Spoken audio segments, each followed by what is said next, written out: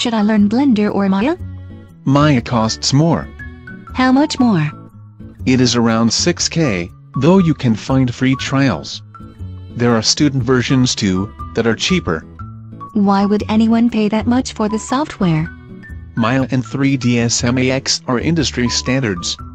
If you want to get a job as an animator or artist with a big company, you need to learn Maya. But I can afford to get Blender. And that would work for a lot of freelance work. Let's say I could afford it. Which should I try? Blender comes with a lot of modeling tools and modifiers. Blender is a good choice if you're working on animation. I might do animation or just 3D models. I'll do whatever pays me enough to be worth the effort, but I need to get into the market sooner. Maya has a steeper learning curve. It's easier if you have some understanding of object-oriented programming.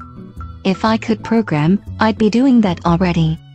Maya allows you to do high-end work because it can work with almost anything. Maya supports the 3Delight plugin with built-in stereoscopics, and it plays well with Toon Boom Harmony. Given the price tag, it should. It sounds like the price is throwing you for a loop. Maya is mostly used for film and animation, practically an industry standard. I'd like to try to use it, but I might not get good enough with trial versions to get a job. Blender's user interface takes a while to learn. So even with Blender, it isn't like you can master it in a weekend. Blender isn't good for detailed 3D animation, which pays well for the work. I might have to import skeletal meshes from Sculptris, so I'd have to learn that one. Here's an answer for you. You don't have to buy a Mac to use Blender.